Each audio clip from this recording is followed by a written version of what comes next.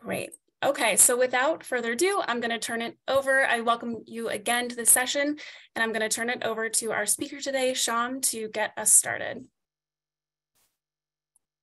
Thank you, Claire, and hello, everyone. Um, thanks a lot for joining us today. My name is Shyaam Subramanian, and I'm Senior Counsel with NGO Source. And NGO Source is a project of Council on Foundations and TechSoup. And our aim really is to improve the efficiency of international grant making and hopefully inspire an increase in international giving. Um, as you'll see, we provide a service called equivalency determination. And we believe equivalency determination benefits both grant makers and your international grantees in a number of ways. NGO Source has issued over 23,000 equivalency determinations on 8,000 unique organizations in 165 countries on behalf of over 600 grant makers. So um, as Claire mentioned, I will save some time at the end for Q&A, about 15 minutes or so. So please feel free to uh, put your questions in the chat, or when we get to that portion, feel free to unmute yourself and ask your question out loud if you would prefer. I would sincerely appreciate it if you can share your name and your organization in the chat, and also what brings you here today, uh, what makes you interested in this topic. I will also share some additional resources if you'd like to learn more, ways to contact us, and as Claire mentioned, this presentation will be recorded. So this is intended to be a very broad overview of equivalency determination, both the process and the requirements. So we do recommend consulting with legal counsel to understand how the laws that we'll be talking about, about apply to your organization and your specific circumstances. But as much as possible, I'll try to share concepts that will be broadly applicable to everyone here.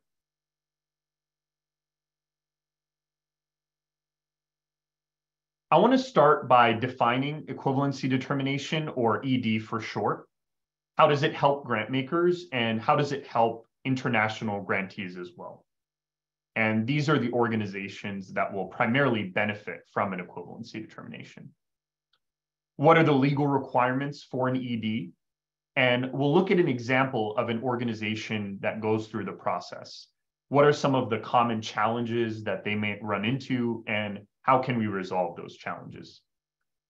We'll look at our unique uh, ED repository model, and then we'll talk about any questions that you may have such as about the requirements or about the process or about NGO source in our organization.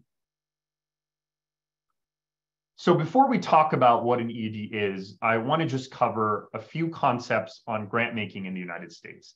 As you all are with grant making organizations, you may already be familiar with these concepts, but I think it's helpful to understand why we have an ED and how it can be helpful. So private foundations must make grant payments to further their charitable purposes. Under US tax law and regulations, the term charitable has a very technical definition that has been developed over time through Treasury regulations and IRS rulings. So we're not going to go into too much detail on the definition of charitable, but an example would be a grant payment to an organization for the relief of the poor or distressed, for the advancement of education, for the advancement of science. These are examples of, of charitable purposes under US tax law. Grants made for non-charitable purposes are subject to a penalty tax. Now, if your grant, if the grant from a private foundation is awarded to a 501c3 public charity, then it is presumed that the grant is made for charitable purposes. And the reason for this is because public charities are subject to a thorough evaluation by the IRS. The IRS looks at the nature of their financial support, their activities, and their purposes. And then it makes a determination about whether the organization is organized and operated exclusively for charitable purposes. In the case of a, a foreign organization, a non US organization, it is possible that they have obtained a 501c3 public charity designation. But this is unlikely, and most do not because of the cost and the administrative burden associated with the process to obtain a 501c3 public charity designation. So this is where an equivalency determination or an ED comes in. An ED is a good faith determination of whether a non-US organization is the equivalent of a 501c3 public charity. It is designed for US grant makers that want to distribute funds to a non-US organization that has not received a ruling or determination that it is a 501c3 public charity. I want to note here that we don't evaluate the effectiveness or the quality of service of the organization. We're focused on the legal requirements, whether it is uh, legally equivalent to a 501c3 public charity. Now, if the organization is deemed equivalent, then the grant maker can make grants to the non-US organization in the same way that it would as a to a 501c3 a US public charity. One practical benefit to both the grant maker and the foreign organization is that the GM, the grant maker, can make can provide general operating support to the non-US organization. So um, that's a benefit to the organization as well as the grant maker. I do want to point out that a donor advised fund, although it is held and controlled by a 501c3 public charity, it is subject to similar disbursement rules as private foundations. And that's why a donor advised fund will also benefit from an ED. An ED is generally valid for two years from the last completed fiscal year for which information was made available for review. So let's say that a foreign organization does not have an ED um, from NGO source or elsewhere, then the grant maker can still make a grant to a foreign organization, but it has to go through a more burdensome and time consuming process called expenditure responsibility. At a minimum, this involves inquiring about prior history and experience of the grantee organization. Uh, the foreign organization would also have to submit full and complete reports on how they are spending the funds and that the funds are going towards um, accomplishing the purposes set out in the grant. The grant maker also has to submit information on the grant to the IRS in its annual information return that it submits.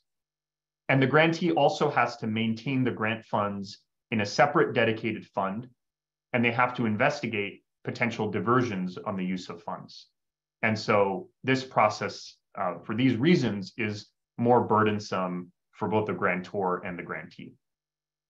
And that means that they have to spend uh, potentially limited resources on these administrative tasks. It's also ongoing effort um, for both the grant maker and the grantee. Whereas with equivalency determination, as we'll talk about, there is upfront work, but there's um, less, the organization may not have to go through the process for each separate grant maker. Whereas with expenditure responsibility, they would have to exercise expenditure responsibility for each grant to the foreign organization. So what are the requirements? And before we talk about the requirements, um, I, I just want to step back and say that it is a lot of information, but we will have an example to see how these rules play out. And as I mentioned, we will have links to additional resources and contact information if you have additional questions. So first of all, our reviewers will evaluate whether the non-US organization is organized like a US public charity. Another way of thinking about this is that we'll look to see what it is permitted to do and what it is not permitted to do. And to do so, we'll look at the organization's governing documents and also any applicable country laws. Second, we'll look to see whether the non-US organization is operated like a US public charity. And this is about what the organization does in practice. So in the first part of the analysis, we're looking at what it is permitted to do, but then we'll look at what it does in practice. Finally, most organizations will have to meet certain public support requirements. We will review their uh, financial information for a specified five-year period, and will determine whether or not they're publicly supported. Now, organizations may be able to qualify as a school, a church, and that would include other houses of worship, a supporting organization, or a hospital, in which case they would not need to submit detailed financial information, but this is not typical. They would also have to meet certain other criteria that we're not going to be talking about today. I also want to mention that different rules apply to organizations that are government entities and government instrumentalities. So I'm not going to go into too much detail on these rules, um, but we do issue legal opinions verifying that organizations are foreign government agencies or instrumentalities. Um, this is not the same as, as an ED. So grant payments would still have to be made for charitable purposes, but the grant maker would not have to go through the expenditure responsibility process for those types of grants. So first, we want to see that the organization is organized for charitable purposes. We look to the organization's governing documents and also local law. And when I say governing documents, this might include an organization's bylaws, um, its internal statutes, or its constitution, for example. And typically, these documents will outline the purposes for which the organization is established. We might also look to local law that governs the uh, type of organization it is that might provide information on how it must be organized. Examples of charitable purposes, as I talked about, include um, the relief of the poor and the distressed, advancement of education or science, advancement of religion. And there are many other purposes that qualify as charitable that we won't get into today. The purposes must also be limited to charitable purposes. So, for example, if, um, let's say, we're reviewing an organization's governing documents and it has two main purposes to provide relief to the poor or the distressed, and then also to undertake any commercial activity uh, necessary to earn profits for the organization, that would not be compliant because the second purpose is not a charitable purpose. So we might follow up with the organization because more than likely the purposes that are outlined in its governing documents will not align precisely with the US requirements. So we might need additional information. Maybe there are other documents that expand on those purposes. Um, we also have global partners that can assist us with culturally sensitive translation and who are familiar with local laws and customs. So we might um, partner with them also when we're communicating with the NGO. Next, we look at how the organization's assets must be distributed on dissolution of the organization. So dissolution is the termination or closing of an organization. And um, an organization might dissolve because maybe it's accomplished its mission or there's no longer a need for its services or it just doesn't have sufficient resources. So whatever the reason, um, under US tax law, a charity's assets must be dedicated to charitable purposes in perpetuity. So that means even when they dissolve. Um, so it must go to another charity or for charitable purposes or to the government for public purposes. That means that it can't be returned to, let's say, an individual uh, founder or a for profit company uh, to do as they wish with those assets. So we also want to make sure that the organization is required to transfer assets in this way, not just that they plan to or that they hope to, but that, that they're required by their governing documents or local law to transfer assets in this way.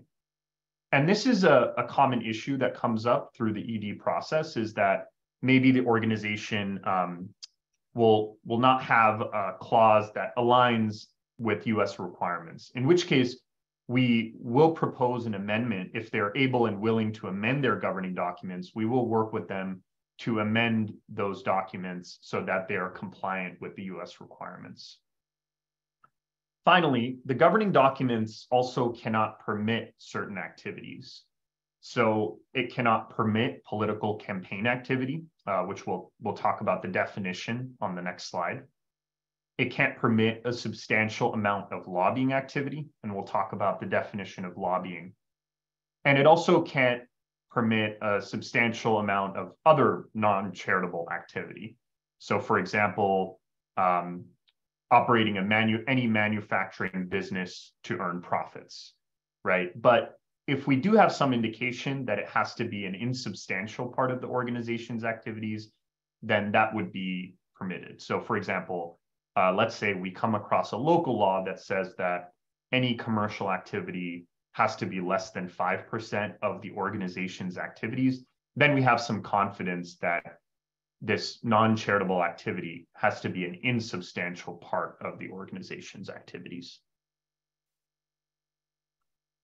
We also look to see what the organization does in practice. So this is based on their descriptions. Um, it's based on their website, if they have a website. Um, it also has a, you know, it's based on any other online presence that they have. So we want to make sure that they're engaging exclusively in charitable activities. So they might be um, issuing publications that are freely available to the public. And we look at how those programs and activities are, are, operate, are conducted. And if we have any questions, again, we will reach out to the NGO. One important point here, and this is a common point of confusion um, for many non-US organizations, is that in the United States under US tax law, just because an activity uh, generates income for the organization, it doesn't mean that it's not charitable. So if the income generating activity directly and substantially furthers charitable purposes, then it is considered a charitable activity under US tax law. So, for example, let's say that you have an organization that is organized to promote awareness about nonviolence, human rights, and anti discrimination. And let's say that they have a museum and they charge uh, some admission fees, but the purpose of the museum is to promote awareness about these causes. In this case, we have some confidence that the income generating activity, in this case, the museum, is directly and substantially furthering those purposes of raising awareness about nonviolence and anti-discrimination. Again, we may need to contact the organization or set up a call with them to better understand their activities. The organization also can't engage in political campaign activity. This means supporting or opposing a candidate for public office. So, for example, um, it might be clear if an organization says, we endorse this candidate for president of Chile, but implicit political um, support or opposition is also not permitted. So, if an organization creates a voter guide that we determine is clearly designed to favor one candidate over the other, that would also be considered a political campaign intervention. But there are many activities related to elections that an organization could still do. For example, uh, telling people how they can exercise their right to vote, giving them information on their polling location or who is eligible to vote. They also can't engage in substantial lobbying. Now, lobbying is another term that has a very technical definition. And so um, we may have to share information about how lobbying is defined in the United States under US tax law. But generally speaking, it means attempting to influence specific legislation.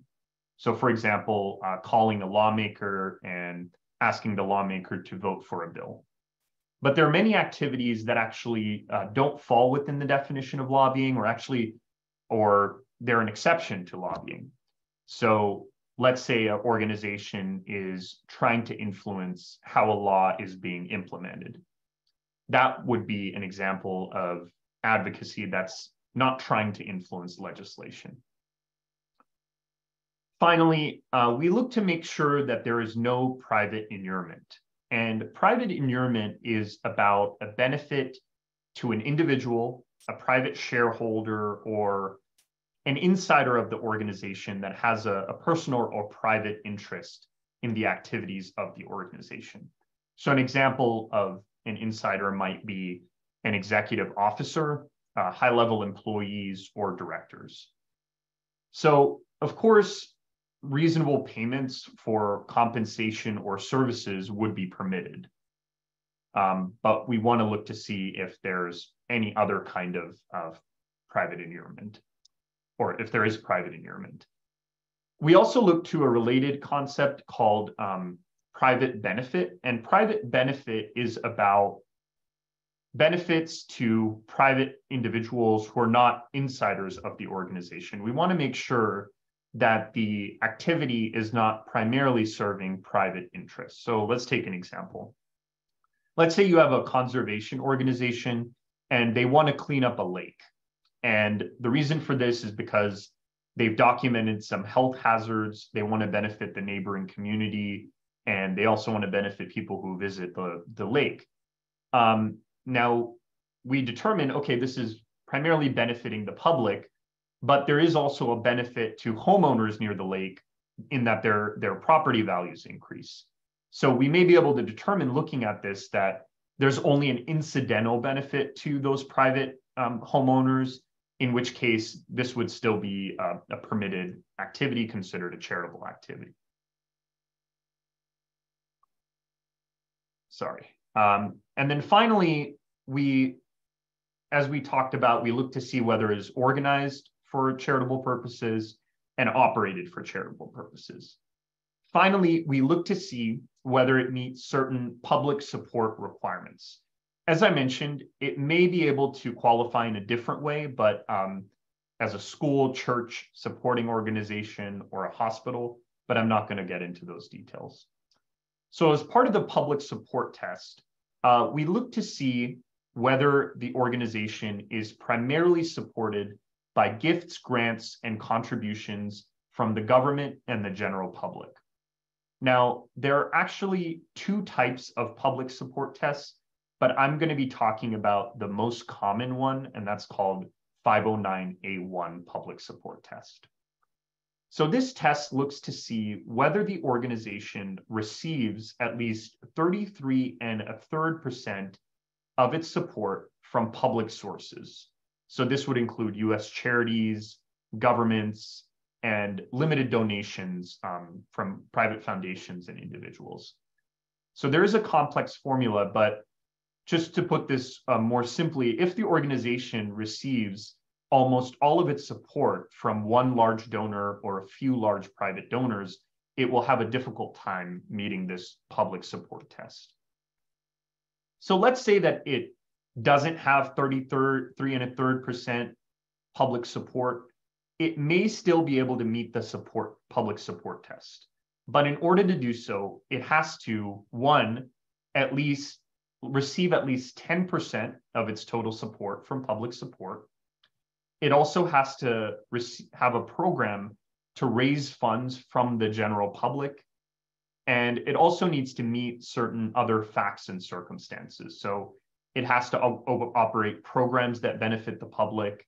It also has to have a board that is representative of the community. And it also has to um, have members that of the public that are regularly involved in the organization's programs. And there are certain other facts and circumstances. So the purpose of this analysis is to show that although it may receive funding from primarily one uh, private donor or a few large donors, it still operates in a way that benefits the public at large as opposed to those few donors. So let's go through a specific example. And uh, this is a, a, fictional organization, but it is modeled after um, organizations we might see. And any resemblance to a real organization is uh, completely incidental. So let's say we have a private foundation in the United States called Support Cameroon Foundation, and they're interested in uh, making a grant to an NGO in Cameroon called STEM in Cameroon. They would um, invite the organization, let's say they want to go through NGO Source, to complete our questionnaire. And because of our multilingual questionnaire, the organization, in this case in Cameroon, if they so choose, can see questions in French and also complete the questionnaire in French if it so so wishes. And we do support many other languages as well and we can um, interface with our global partner to support the NGO in completing the application. So let's say we, we receive the information and we determine that STEM in Cameroon has an objective to provide science, technology, engineering, and math education to underserved youth in Cameroon. We see that it conducts activities to provide free training courses, workshops, educational materials to youth ages 9 to 18 in Cameroon. We also see that on dissolution, its assets would have to be transferred, transferred to another nonprofit organization. We also see that its bylaws say that no assets, income, profits, or dividends may be distributed to its individual members. And then we see, after reviewing its financial information, that it has 20% public support. I also want to note that this specific organization might also qualify as a school, but we would need some more information. It would have to meet certain other criteria. So what are the potential issues here or challenges that we might have to resolve? So I've highlighted the potential challenges. Um, one challenge is that the organization's assets here must go to another nonprofit organization and it's 20% publicly supported, and that's less than the 33 and a third percent public support. So it might still be able to qualify, but we would need to get more information.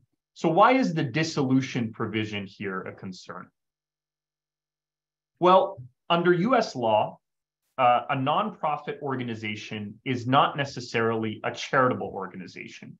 So in the United States, labor unions and trade associations, chambers of commerce are nonprofit organizations, but they're not necessarily charitable organizations organized for those specific purposes. So we really need to make sure that it's going for those specific purposes or to organizations that are organized for specific purposes. And as you probably um, gather, because country laws are so different, those requirements might not align precisely. Now, sometimes the definition of nonprofit in another organization, it might be consistent with the US definition of charitable, but um, we, we would need more information.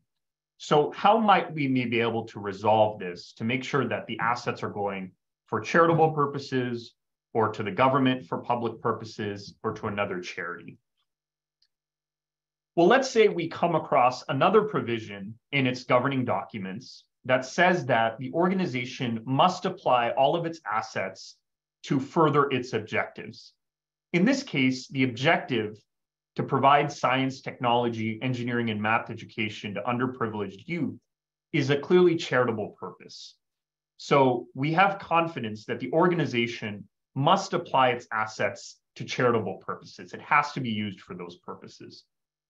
So that means even though the organization's assets must go to a nonprofit organization, not necessarily a charitable organization, we know that it always has to apply its assets towards those charitable purposes.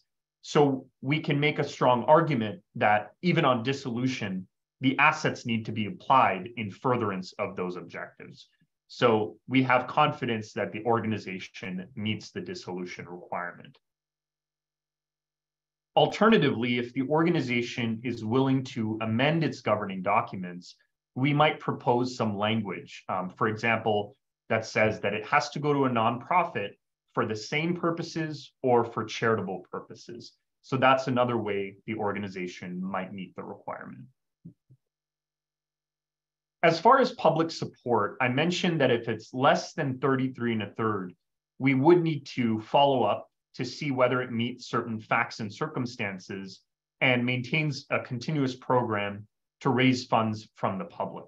So again, the purpose of this is to um, show that even though it's primarily funded by one large private donor or a few large private donors, we still have confidence that it's operating in a way to benefit the public at large, and it, it's seeking to be publicly supported. So let's say we receive those certifications and assurances, then it passes the facts and circumstances test, and the organization would be able to qualify as equivalent to a 501c3 public charity. So as you can see with this example, it is some upfront work for the organization, but it can benefit in many ways, um, as we talked about through general support and potentially to not have to go through this process um, with multiple grant makers, uh, you know, uh, once they have gone through this. So let's see how that might work with our repository model. So before the NGO source repository model, the ED process could be inefficient and duplicative. So the grant maker would often have to hire a qualified tax practitioner, a, an attorney, outside counsel to conduct an ED for each separate organization. And the cost for outside counsel for a single ED can range from 5,000 U, um, US dollars to 15,000 US dollars. So in contrast, our um, team of legal experts, as well as our process, allows NGO Source to offer EDs at a significantly lower cost. Not only that, but by centralizing the process, NGOs need only complete the ED process once for multiple grant makers, freeing them up to do their important programmatic work. So NGO Source members are actually able to search our online database at any time to view the ED status of specific NGOs. And this information, I do want to make clear, it's only available to the NGO source members and not the general public. So for privacy reasons, members may not be able to see which grant makers initiated the request, but they will be able to see if the grant the NGOs in the repository. I also want to emphasize that an ED is specific to the G, the grant maker making the request. So even the even though the IRS approved our repository model, um, which is the main service and benefit that NGO Source offers, the ED still has to be specific to the grant maker, but the process is significantly more efficient because the grant maker can make a selection from the NGOs that have already been approved. So finally, I just want to cover a few common ED challenges that come up and how we might be able to resolve them. So as I talked about, often an organization's assets on dissolution um, will not be required to be transferred to another charitable organization or exclusively for charitable purposes or to the government for public purposes. Unfortunately, on its own, transfer to a nonprofit does not necessarily mean charitable and for similar purposes, even if the organization's purposes are charitable, um, the US tax authorities, the IRS, has clearly stated that a similar purpose is not necessarily charitable, even though a, the same purpose would be charitable. So those are some issues that come up, but we are happy to work with an organization to amend their governing documents. Sometimes local law will be helpful, um, and it'll have some details or requirements that do align with US requirements. Another issue is lobbying. As I mentioned, uh, to be deemed equivalent, an organization cannot engage in a substantial amount of lobbying activity. The lobbying has a very technical definition. And so there are many activities that are related to public policy advocacy or uh, research or raising awareness that will fit within an exception or are not considered lobbying under IRS rules. Finally, as I mentioned, um, income generating activities, and this is another common point of confusion, may be charitable if they are substantially and directly in furtherance of the organization's objectives. So we'll have to clarify that um, with the organization as well to say that, look, just because you may charge fees for an admission to a museum it doesn't mean that that's automatically a non-charitable activity. So it really matters what the purpose of the activity is um, and how it's conducted.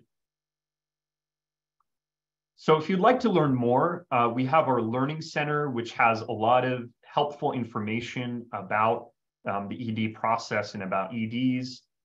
We also have a frequently asked sec uh, questions section of our website, and I might um, you know, direct you here for more details, uh, any of the questions we have today. We also have a legal ease blog where we try to talk about legal concepts in plain English. And we have um, more detailed information about laws and organizations in different countries. We also have an impact stories section of our website, organizations that have benefited from receiving an ED. So we would encourage you to check out that section of the website. Also, grant makers um, discussing how their grantees have benefited from an ED. So now I'm happy to take questions. Um, and finally, I want to mention that you, are welcome to email me, um, subramanian at TechSoup.org. You can also email um, or contact my colleague, Jonathan. He's the Director of Global Partnerships if you have questions about membership partnership opportunities. And then also our general NGOsource email is account support at ngosource.org. So um, hopefully this was helpful in outlining a little bit about the ED process, how it can be beneficial, um, why an NGOsource's model improves efficiency, um, and we hope to continue our relationship. So this time I'll stop share and then open it up to any questions people have. And again, feel free to put your question in the chat or just let me know in the chat if you'd prefer to ask your question out loud.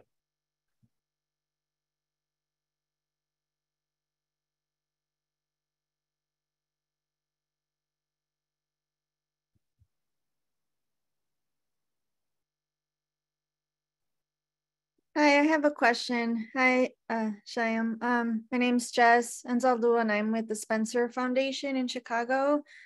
And we work um, very closely with you all on various ED requests. Um, we fund higher education institutions, universities, um, and education research, and we're increasingly funding more outside of the US. So we work with all of you um, some questions and complexities that we often face in our requests to you are um, obviously with working with universities that are international, trying to understand their uh, NGO structures and um, navigating what obviously you find out, but what we still are trying to understand as far as matching up to compliance on the U on the U.S. side. Mm-hmm. Um, so I just uh, wanted to ask about that, and if anyone else here on the webinar has any uh, similar experiences working with international universities. Yeah, thanks for the question, Jess. And if everyone, if anyone has any uh, thoughts or guidance, I'd encourage you to also put that in the chat. So uh, as far as our approach, we, as I mentioned, we do have global partners that can assist with translation, but also are familiar with local laws and customs. So um, they might be helpful in that situation. Um, we also, you know, we in addition to reviewing the governing documents that are translated, that they translate into English, we do a thorough review of their website, online presence. If there's any clarification that we need, um, we will again set up a call with them, email them. So just to give an example, you talked mentioned universities. There's a requirement about um, having a racially non-discrimination, racial non-discrimination policy or, or following a racially non-discriminatory policy. And so we'll um, provide explanation of what that means under US laws and if needed, uh, provide more guidance. So we do have some information in the questionnaire that says, okay, these are the US requirements. And if there's any confusion about it, uh, we're happy to communicate with them. But it's, um, yeah, we definitely are aware that it's those universities, they're, the way that they're operated and structured are not going to be aligned exactly with the US requirements. So we're definitely mindful of that. Um, so next question from Nicole in the chat. You mentioned that NGOsource is happy to work with organizations on their governing documents to include proper dissolution, would NGOsource do that during the review process, or does it need to be requested as a service before the funder requests ED initiation? No, we would we would review the dissolution clause and propose any amendments as part of the review process, and um, we would come to know if there are any issues only after we do a review, because we need to look at the governing documents. We'd also need to see if there's any applicable law that we can rely on. So we do actually have a, a law library, and in many of the countries, we have provisions that we can rely on related to dissolution. So even if the governing documents don't align precisely with US requirements, we might be able to rely on a local law. And so that's something that we would do as part of the process. And we would work the or, with the organization, um, even if the organization, even if the grant maker doesn't specifically requested. Although if the organization um, is not willing or able to, then you know we would have to deny in that case because it does not meet the dissolution requirement. Um, so Suzanne asks, what is the general amount of processing time needed for an ED request? So yeah, the general processing time varies. Um, and I think the reason for this is because an organization, you know, of course, if it needs to make amendments, that might take more time. Um, also, if we need to clarifications, then we need to follow up with them, and then it's dependent on you know how soon they respond. Could take anywhere from uh, four weeks to 16 weeks. Also, because of COVID 19, there were delays. There could be situations in specific countries that are leading to delays, maybe related to their uh, judicial system or their uh, political situation. So it does vary, um, but we do also, for members, there is an, an option to expedite certain requests as well.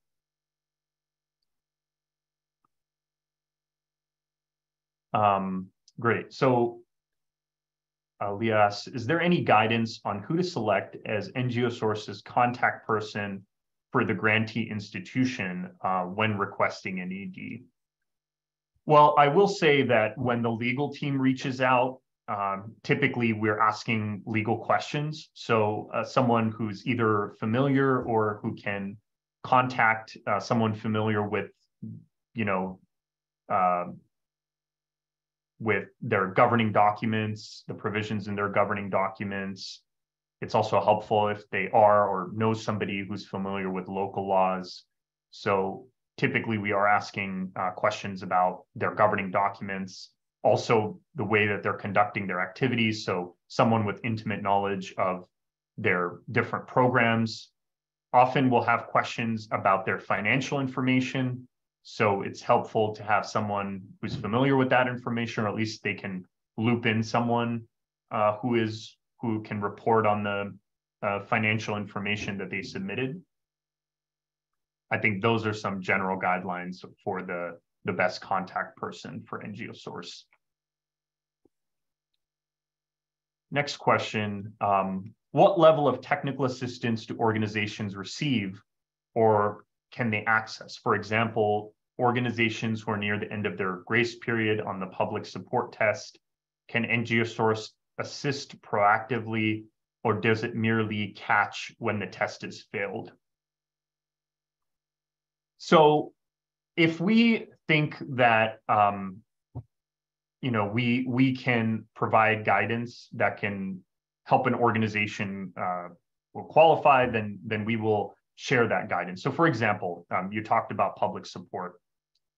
One thing that I didn't mention was that you know there are there are organizations that are have not been in existence for five years. And so they can't provide five years of completed financial information. And so in that case, they would need to provide a combination of actual and projected financial information. So we will let them know, look, these are the guidelines around projected information. It must be realistic, but it can be aspirational. We will not hold you to the projections. Um, if we see that an organization does not qualify for the public support test, we will reach out to see if they've reported all of their income. We will reach out to clarify the different income categories because potentially there's an issue with how they've categorized their income. So most of the time I can say that, you know, on the first pass, when we're going through, um, we will follow up and provide clarification as needed because it's possible that perhaps the there's a, a misunderstanding related to the US definitions. As I mentioned, with if they say, hey, we we do 35% of our organization of our activities are not charitable, we will follow up and say, this is the definition of charitable. Do you still maintain that 35% are not charitable? And if so, what are those activities?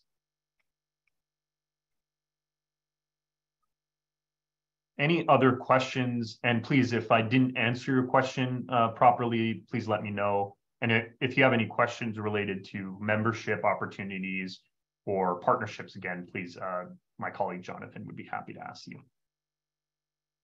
Okay, another comment in the chat, I'm just reading it out for everyone. We made a grant to a government instrumentality and the information on the blog and FAQ pages was very helpful for understanding the difference between a charity and a government instrumentality. That's great. Thank you. Thanks for that comment.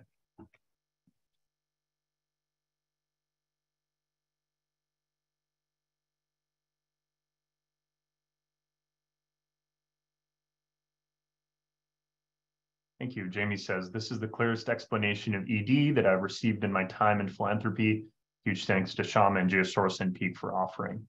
Thank you for the kind words. And um, yes, again, thank you to Peak for offering and organizing this session. It's great to have so many people join.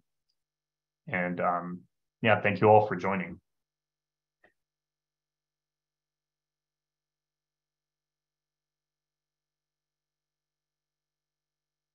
So we still have a few more minutes. Happy to take any questions.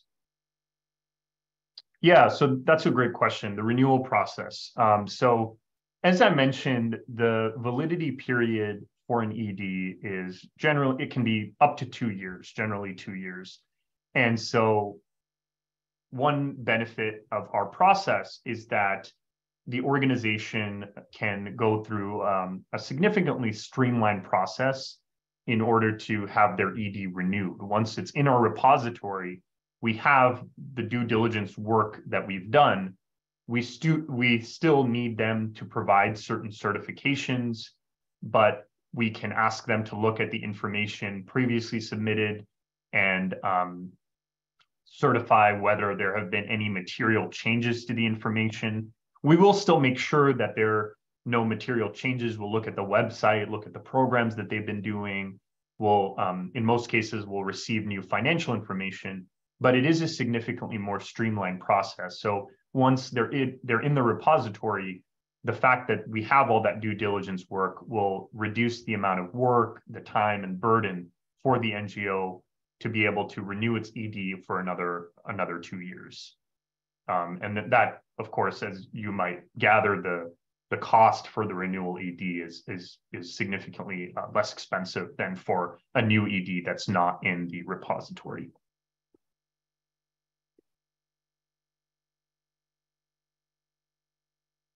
Um, yes, we can certainly share the presentation slide deck. I'll share it as a PDF uh, with the meeting participants.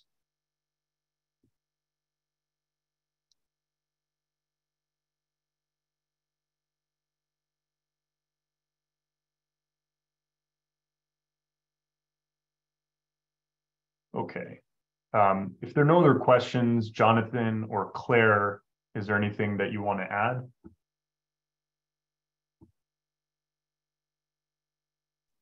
No, just thank you everyone for being here today. And um, the account support email is on the slide deck. So if you have any additional questions, you can um, email that. It hits our whole team, or you can reach out to Shyaam or me directly. Thank you, Shyaam. Thank you, Claire. Thank you. Uh, you know, one thing that I forgot to mention at the beginning that I just want to point out is that right now, NGOsource has issued over 23,000 equivalency determinations on 8,000 unique organizations, 165 countries, or maybe I did mention this, but I just wanted to uh, mention this again then.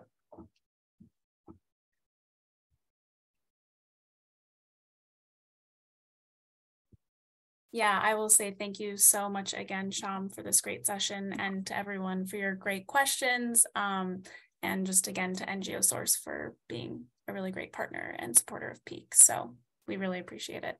So I will definitely follow up with everyone um, in the next few days with the recording, contact information, and the slide deck. So um, thank you. Thanks, everyone. Thanks, Claire.